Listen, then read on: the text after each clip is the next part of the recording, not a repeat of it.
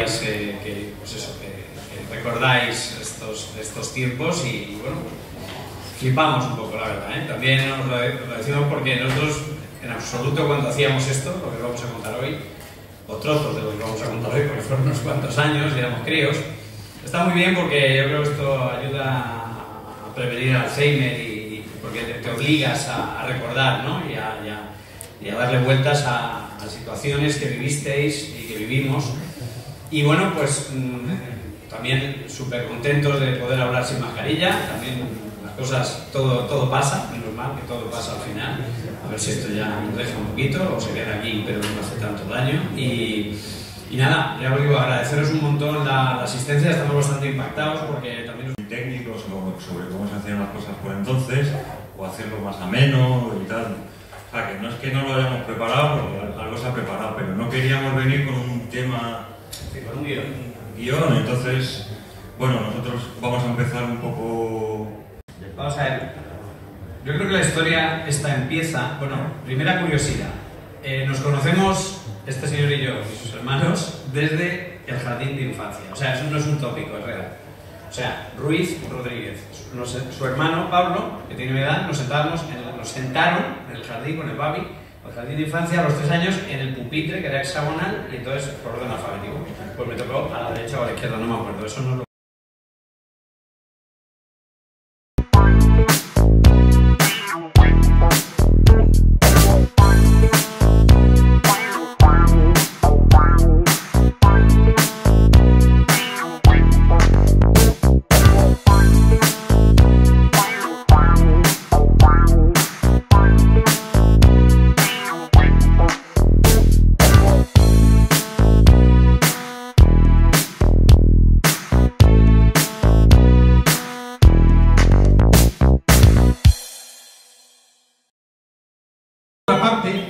importantísima, sobre todo aquí en España, de los pioneros no solo de la creación de juegos y lo que ello representa, sino también de la distribución y de lo que es asentar un mercado donde no había mercado, donde lo normal era ver copias piratas importadas, de usted saber dónde, y ya está. No había conceptos de negocio. Todo esto vino de la mano de las personas que hoy me acompañan aquí. Entonces, bueno, no me voy a enrollar más porque no habéis venido a verme a mí, así que nada, os pido un aplauso para Paco Pastor y para Rafa Gómez.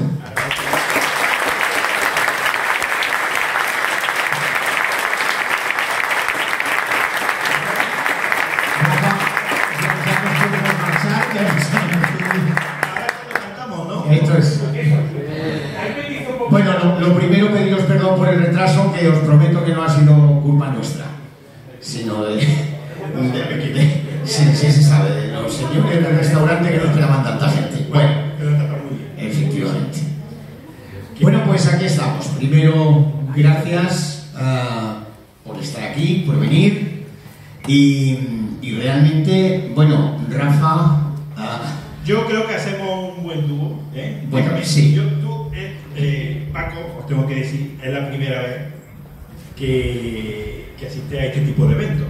Él ha estado siempre muy alejado, ha estado en lo suyo, en su música y tal. Entonces es una suerte que estemos aquí, eh, estemos en Málaga. ¿Eh? Hemos aprovechado para recordar un montón de anécdotas ¿eh? que espero que ahora nos volvamos a acordar. Muy moderna, ¿eh? Yo mismo escuchaba a Paco Pastor, escuchaba Boniemi. Niño, ponme el disco de, de Boniemi.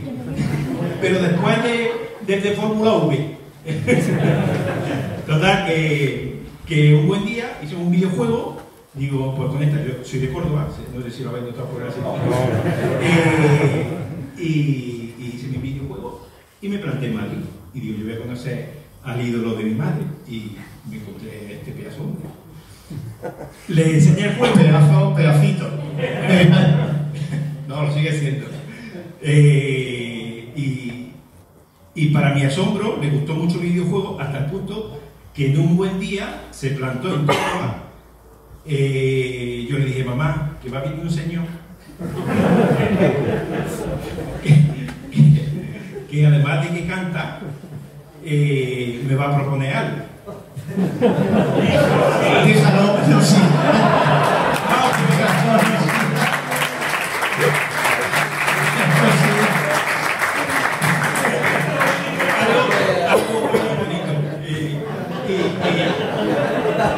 Y llegó a mi madre, mi madre, y además me va a dar dinero.